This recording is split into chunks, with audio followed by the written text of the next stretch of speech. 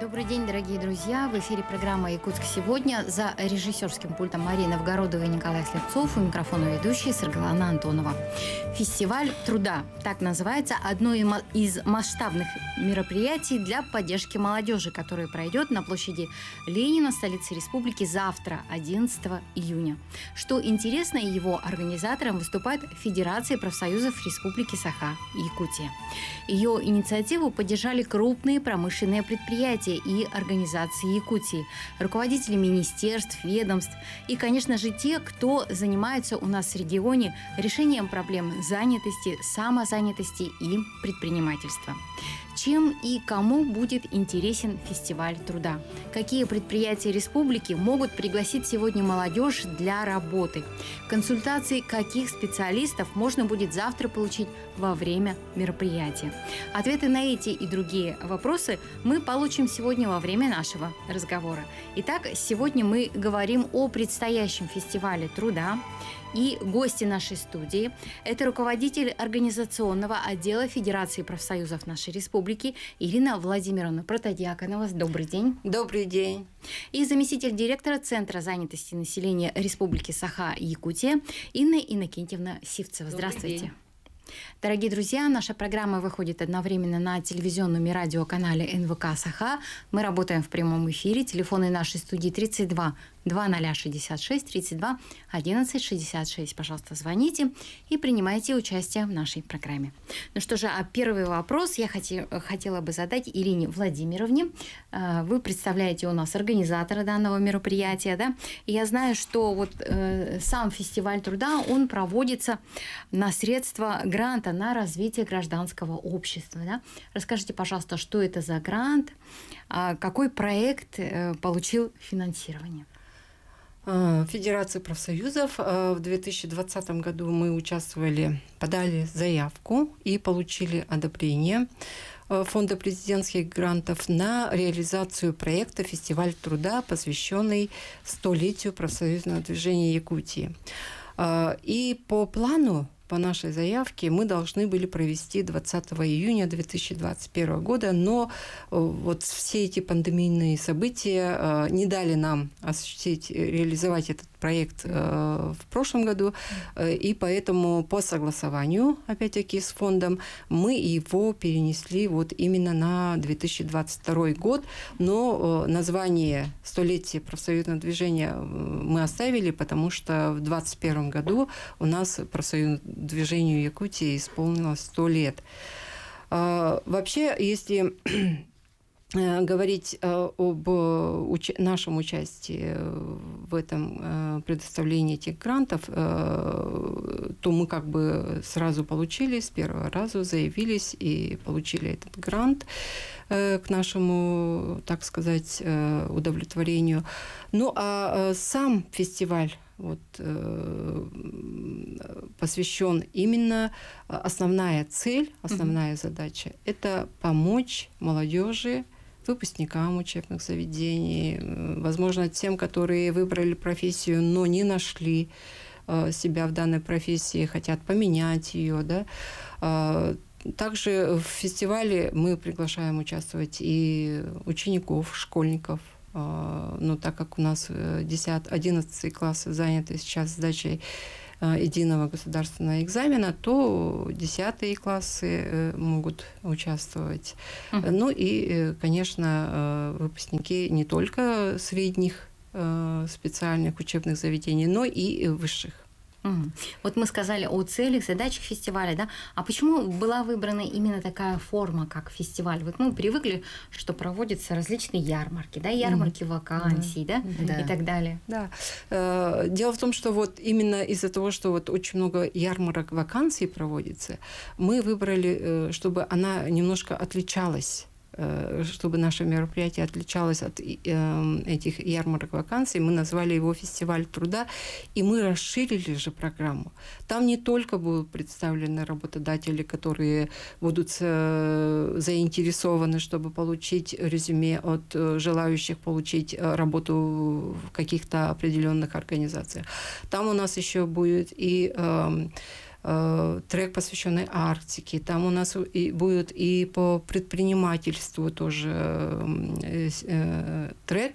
И кроме того, у нас еще э, будет э, прекрасная возможность у наших участников э, получить бесплатную юридическую помощь Консультации специалистов. Консультации пройдет. специалистов, угу. да, различных организаций, эм, которые в этот день они могут получить вот э, ответ на свои вопросы, которые э, или по нехватке времени, да, ну или по каким-либо другим причинам, если они не могут обратиться в какую-то организацию, они в этот день вот на площади Орджоникидзе могут получить эту консультацию. Угу. А культурная программа будет?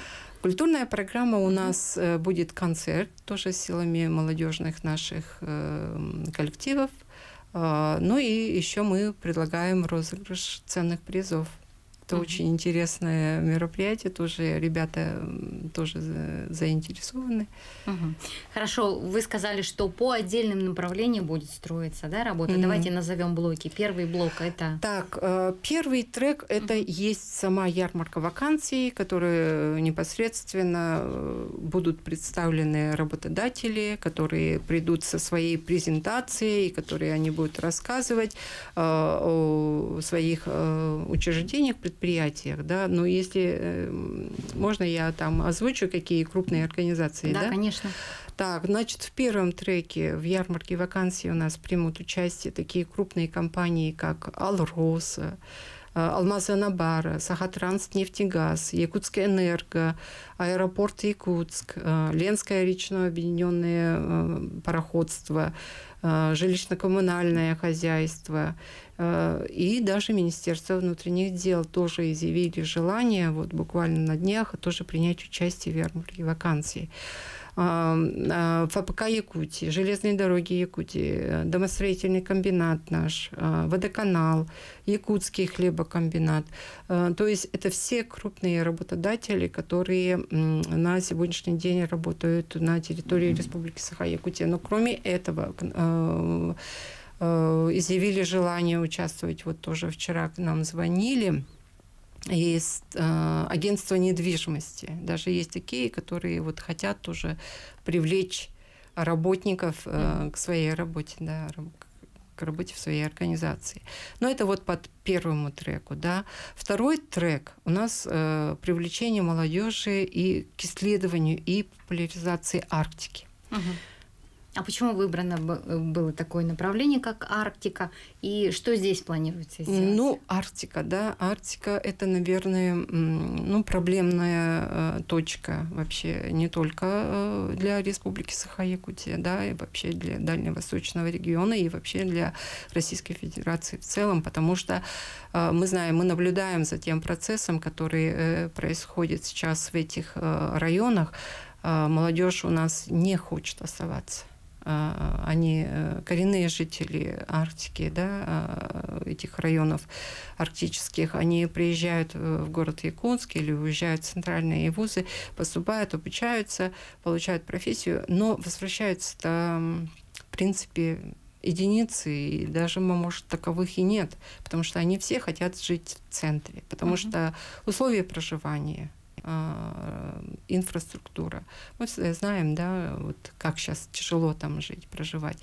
И поэтому именно с, э, с целью, чтобы привлечь внимание молодежи, именно вот, э, которые только даже не только выпускники. Это, выпускники это уже поздно с ними работать, как я считаю, да, а, э, прямо со школьной скамьи. И у нас э, запланировано, что именно в этом треке, во втором треке, а, будут э, учащиеся десятых классов учебных заведений города Якутска. Мы хотим у них, чтобы проснулось какое-то желание, если даже мы из ста человек там у двоих или у у троих э, зерно это вот упадет в душу, наверное, будет какой, какая-то польза, какой-то эффект от проведения, угу. да. То есть мало какой-то тяги, да, к Арктике, нужен, наверное, особый интерес да, особый который интерес. следует да. разбудить у молодых для того, чтобы они возвращались. Да, да, конечно, да, и были заинтересованы специально. именно угу. в развитии этого региона, да, угу. и поэтому участвуют у нас в этом треке и Министерство по развитию Арктики и делам народов Севера, не так давно созданное, да, а, и у нас институты, вот э, Якутский научный центр Сибирского отделения Академии наук тоже они выразили желание э, участвовать в этом треке. И э, Арктический научно-исследовательский центр тоже будет принимать участие. И э, вот э, гвоздь э, нашей нашего трека, да, mm-hmm. и вообще фестиваля в целом, я считаю, что это вот участие Надежды Александровны Саноцкой, доцента кафедры водно-технических изысканий Института гидрологии и океанологии Российского государственного гидрометеорологического университета. Это город Санкт-Петербург, она уже у нас в городе Якутске, сегодня утром мы ее встретили, mm-hmm. и э, она извела также желание вот встретиться с нашим якутским гидрометеорологическим нашей службой. Угу. Вот. Ну и э, дальше у нас будет социологический опрос. Это у нас э, тоже Центр Арктический научно-исследовательский центр э, проводит. Э, вот именно, который, может быть, действительно покажет, насколько детям интересна вот эта тема, тема Арктики. Угу. Вот. И, ну и третий. Третье да, направление да. бизнес-сектор, да? На да, что он направлен? А, ну, бизнес-сектор – это сектор, который э, как раз-таки будет направлен на поддержание малого и среднего бизнеса, предпринимательства. Да? А, здесь у нас э, основным э, модератором выступает ГАУ РСИА, это Центр «Мой бизнес».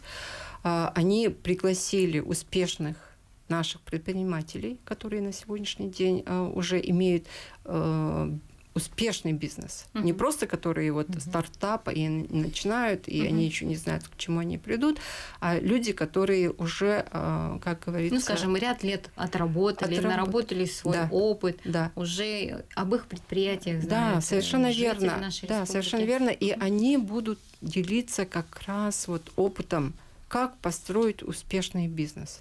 И э, этот э, бизнес-сектор у нас э, будет проводить также э, тренинг дизайн мышления, который будет как раз-таки вот, э, покажет нашим э, ребятам, как мыслить как бизнесмены, как предприниматели.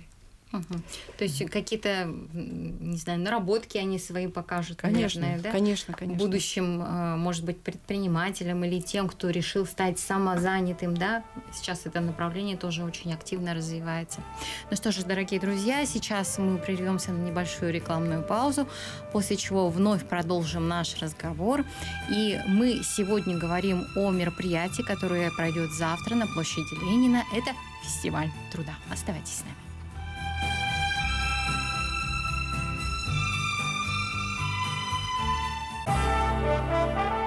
Дорогие друзья, мы продолжаем нашу программу. Ежегодно в Центре занятости обращаются тысячи людей, и большинство из них получают работу, новую профессию, либо помощь экспертов.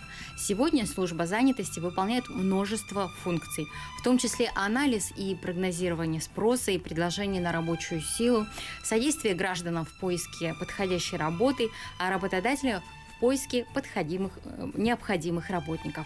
В рамках фестиваля труда, который, напомним, пройдет в столице республики завтра на площади Ленина, мы также говорим о деятельности Центра занятости нашей республики. Дорогие друзья, напоминаем, что э, наша программа выходит одновременно на телевизионном и радиоканале НВК Саха. Мы работаем в прямом эфире. Телефоны нашей студии 32 2066 32 1166. Ну что же, а сейчас я хотела бы обратиться к заместителю директора Центра занятости Республики Саха-Якутия Ини Иннокентьевне Сивцевой. Давайте поговорим о ситуации на рынке труда нашей республики. Да? А, что вы можете сказать о безработице на сегодняшний день? Ну, если говорить о безработице, то с начала года к нам обратилось а, более 10 тысяч человек на сегодняшний день.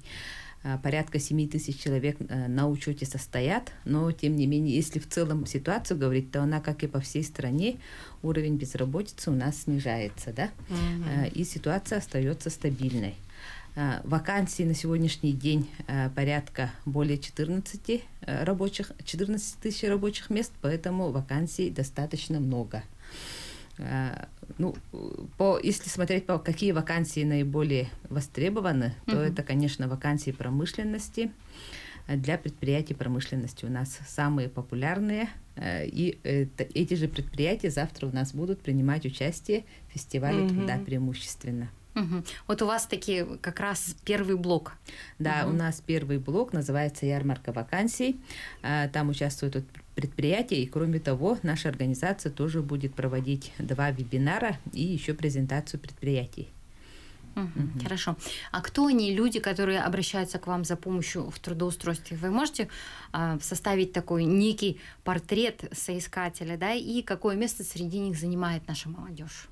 Ну, э, конечно, обращаются разные категории. Э, у нас есть категории, с которыми мы преимущественно работаем. Во-первых, это у нас, конечно, молодежь, э, граждане с ограниченными возможностями здоровья. Но портрет среднестатистического безработного у нас uh-huh. меняется, да, если вот в конце прошлого года это была женщина, то сейчас это обратно мужчина средних лет, да. Uh-huh. Поэтому э, меняется. А, молодежь обращается довольно э, большое внимание. Вот в конце прошлого года была принята, вот в Российской Федерации была принята долгосрочная программа содействия занятости молодежи, э, и э, теперь в нашей республике тоже такая программа готовится. Э, кроме того, Центром занятости вот реализуется проект «Старт к успеху», который направлен именно на повышение мотивации молодежи к трудоустройству, на, его, на их трудоустройство и профессиональное образование. Угу. Угу. Какие изменения сейчас происходят вот на российском рынке труда? А, какова тенденция и какие профессии востребованы? Ну, насчет востребованных профессий я вот уже сказала, угу, да. Если смотреть по республике, это промышленность. Угу. И, конечно, вот сектор, бюджетный сектор, да. А если говорить про Арктику, которая завтра будет Э, уделено большое внимание. Там mm-hmm. в основном э, требуются вот вакансии для бюджетных организаций. Это учреждения здравоохранения, образования, ну и другие вот э, учреждения бюджет, бюджетные, которые э, и в других, во всех других районах представлены. Угу. Хорошо. А какие профессии на сегодня можно освоить бесплатно, например, по программе содействия занятости? Угу. Ну, у нас э, по профобучению программ есть государ... мы проводим обучение в рамках государственной программы содействия занятости. А, по этой программе мы порядка полутора тысяч человек должны обучить. А, уже у нас процесс идет полным ходом. Угу. Направляем граждан. И еще вот более 600 человек, незанятых граждан, мы должны обучить по для предприятий промышленности. Э, ну, конечно, в начале года проводятся торги, и по итогам торгов у нас в настоящее время почти все учебные заведения определены. Конечно, большая доля у нас э, э, для предприятий промышленности это такие как горнорабочие, машинисты тяжелой техники, машинисты вот экскаваторы, бульдозеристы, проходчики, и стропольщики, и другие, да. Ну, кроме того, в этом году э, более 300 э, человек, ну, 300 женщин мы должны обучить. Uh-huh. Это специальности для женщин, такие как повар, массажист, а, социальная, младшая медицинская сестра, парикмахер и другие, да, потому что в этом году же у нас э, год матери, в связи с этим женщинам у нас тоже уделяется отдельное внимание. Uh-huh. Ага, и кроме того, вот еще это у нас про, про, про госпрограмму, если рассказывать. Да? Uh-huh. Еще есть у нас э, национальный проект «Демография». В рамках вот этого национального проекта действует проект содействия занятости. Вот на это я хотела бы, чтобы наши слушатели и зрители обратили особое внимание. Да? Uh-huh. В рамках вот этого проекта тоже граждане могут бесплатно получить специальности. Это у нас все реализуется на сайте «Работа в России». То есть гражданин заходит на сайт «Работа в России», трудвсем.ру, вот его адрес, да, а, авторизирует, авторизируется через госуслуги, и там представлено более 500 различных э, вот, специальностей, угу. да. Ну, в основном они курсовые, конечно, но э, если проанализировать из этих 500, 39 у нас э, для граждан, которые не имеют образования вообще, mm-hmm. да, они могут обучиться. Вот, э, ну, Э, там слесари, электро- электромонтажники, повара, парикмахеры, ну, 39 различных профессий. Uh-huh. Но в основном, конечно, у этих профессий очное обучение, то есть никак, ну, дистанционный формат тут не предусмотрен. Ну, для человека, который не имеет образования, это, конечно, да. преимущественно угу. только такой вариант в настоящее время представлен. И они могут обучиться в городе Якутске и в семи районах республики, э, где есть э, вот средние, ну, учреждения среднего профессионального образования. Это в Мирнинском, Алданском, Нерюнгринском, Мегино-Кангаласском, Чурапчинском и Сунтарском улусах и Верхневилюйском. Вот на сегодняшний день а вот э, здесь они могут уже, как говорится, не выезжая из района, в рамках нацпроекта получить образование. Кроме того, очень много специальностей для э, людей, которые имеют среднее профессиональное или высшее образование. Там и в любых сферах. Ну, тут, конечно, диапазон очень широкий. И не только там рабочие специальности, но и э, вот IT-сфера, образование, здравоохранение. Если люди хотят повысить квалификацию, а, или получить э, переподготовку пройти, тогда они могут по той же профессии, а, да? по этому нацпроекту обучиться. Ну, а, конечно, не все подряд могут обучиться. Тут есть категории. Uh-huh. Категории это у нас э, ну, безработные граждане все Прежде подходят всего, да? под эту, uh-huh. ну, для этого нацпроекта они являются подходящими, независимо от возраста пола, как говорится, да. А, кроме того, вот э, пенсионеры, предпенсионеры, то есть тем людям, у которых до пенсии осталось 5 лет, женщины, которые находятся в отпуске по уходу за, за ребенком, это работающие женщины, женщины могут обучиться, и женщины, у которых есть дети дошкольного возраста, тоже могут обучиться, и молодежь. Наша молодежь ну, там есть отдельные категории, но очень большая категория молодежи может обучиться по этой программе. Угу. И самое угу. главное, что вот по направлениям центров занятости обучение происходит совершенно бесплатно. Да, ну для этого они регистрируются на сайте. После этого в течение семи дней они должны подойти в центр занятости по месту регистрации и подтвердить свою категорию. Если категория подходящая, э, они проходят профориентацию и уже э, ждут набора да. Ну, согласно положению, в течение семи рабочих дней э, курс уже должен начаться, но у нас иногда бывает так, что вот разброс же у нас широкий, uh-huh. 500 разных профессий, тогда допускается в течение вот одного месяца курс набирается, тогда они уже могут приступать.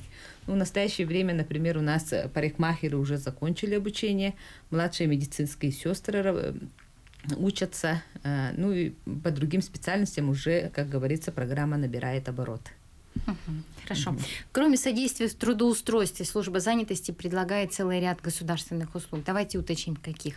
Ну, государственные услуги тоже в основном у нас регламентированы вот этим э, нашей государственной программой. Это э, помощь при создании э, своего дела, содействие Э, предпринимательской деятельности, ну, профессиональное обучение, про которое я уже говорила, социальная mm-hmm. адаптация, психологическая поддержка, профориентация, организация общественных работ, организация вот временного трудоустройства несовершеннолетних граждан, тоже вот в летнее время очень активно эта э, программа идет общественной работы в сельской местности, э, временное трудоустройство у нас э, несовершеннолетних в оленеводческих хозяйствах есть такая программа, стажировка молодых специалистов. Ну, вот такие вот программы. Угу. Программ на самом деле очень много. Они каждый год, ну, иногда новые программы вводятся в зависимости от, как говорится, ситуации на рынке труда. От спроса, да? Угу. Действительно ли увеличилось количество якутян, которые, например, хотят открыть свое дело? Ну, вот мы говорим о самозанятых. Да, угу. по самозанятости в этом году у нас э, финансирование увеличилось, поэтому да, э, желающих много. Э, у нас проводятся комиссии, и уже, э, как говорится, граждане могут зарегистрировать собственное дело. Но тут они не только как индивидуальный предприниматель э, могут зарегистрироваться, индивидуальный предприниматель и крестьянское хозяйство, они еще могут теперь выбрать Э, специальный режим самозанятого.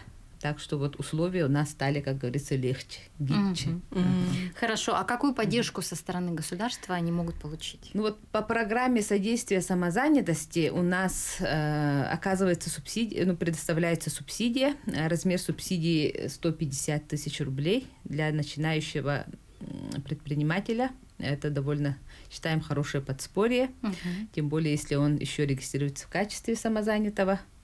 Э, Вот такая вот э, 150 тысяч. Мгм.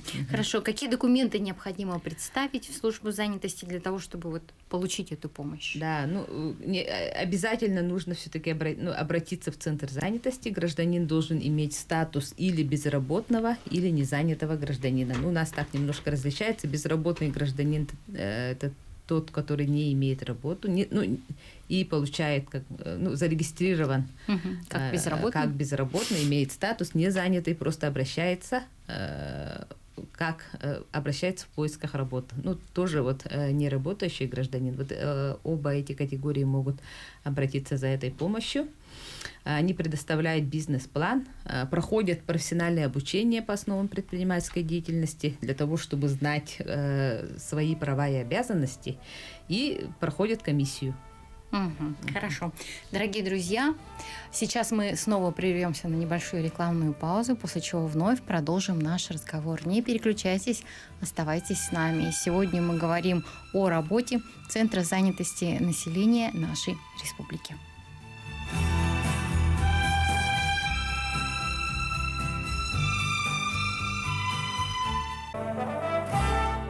Дорогие друзья, мы продолжаем нашу программу. Ежегодно в Центре занятости обращаются тысячи людей, и большинство из них получают работу, новую профессию, либо помощь экспертов. В рамках фестиваля труда, который, напомним, пройдет уже завтра в столице республики, мы также говорим о деятельности Центра занятости населения нашей республики. И э, наш собеседник – это заместитель директора Центра занятости Республики Саха-Якутия Инна Иннокентьевна Сивцева.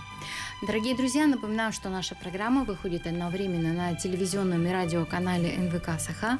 Мы работаем в прямом эфире. Телефоны нашей студии 32 2066 32 11 66. Пожалуйста, звоните и присоединяйтесь к нашему разговору.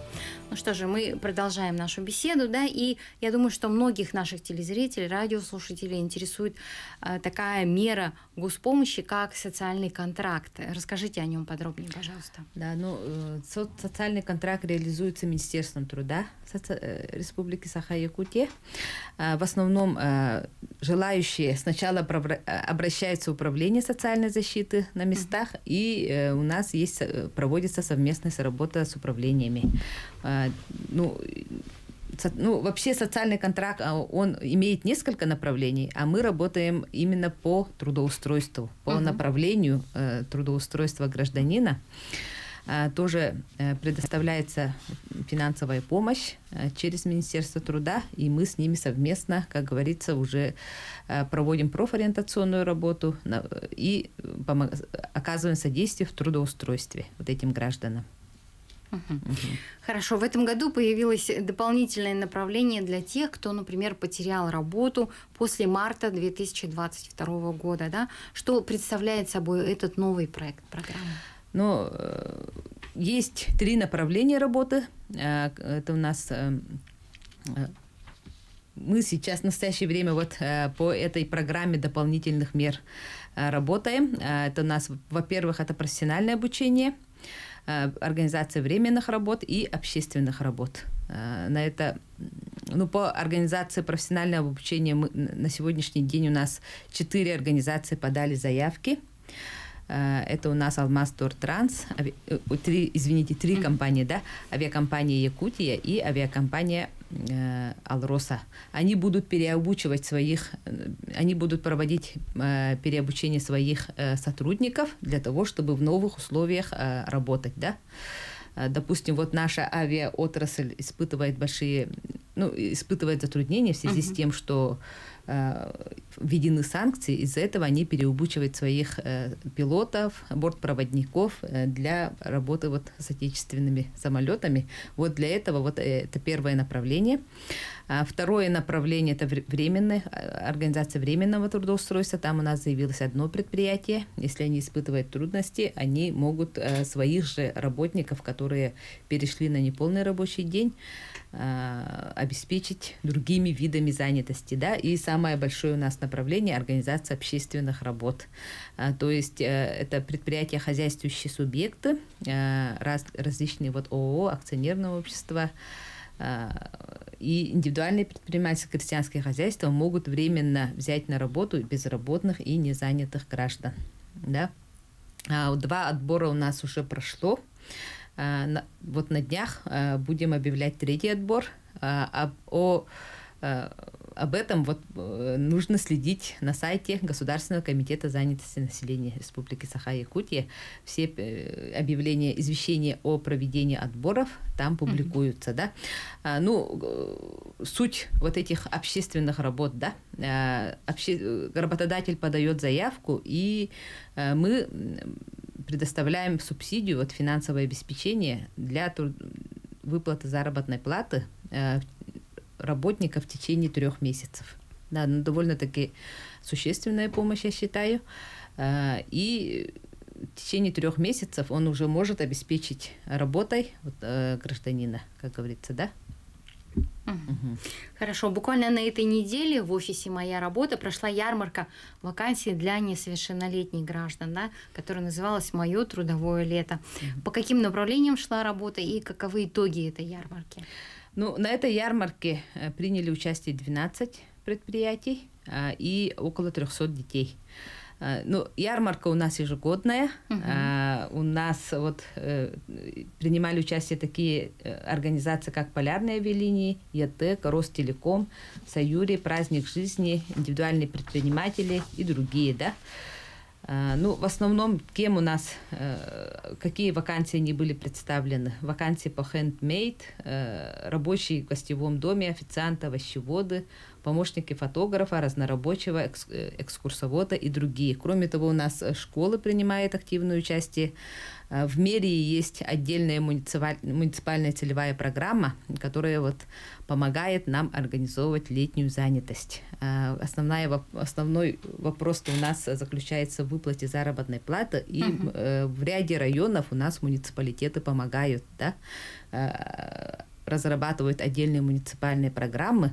За это им, конечно, большая благодарность. Угу. Хорошо.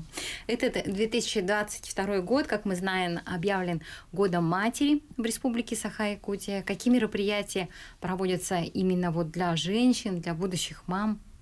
Ну, для женщин э, мы составили отдельный план мероприятий. Э, наш Государственный комитет утвердил этот план. Э, вот в рамках Года матери у нас должны пройти различные ярмарки вакансий, семинары, дни открытых дверей, но они уже, как говорится, на, э, начались. Первый, вот первая партия, угу. она была в марте в связи с Международным женским днем, и дальше до конца года по плану будут эти работы организовываться. Кроме того, вот по профобучению я тоже рассказывала, более 300 человек должны обучить. По самозанятости 50% желающих это uh-huh. должны быть женщины. Uh-huh. Есть такой. То есть в этом году только, да, поддержка uh-huh. женщин. Uh-huh. А среди тех, кто заявляет, кого обычно бывает больше, мужчин или женщин? Ну, разное. Смотря от улусов, uh-huh. смотря какой улус, какой район, у каждого района своя специфика.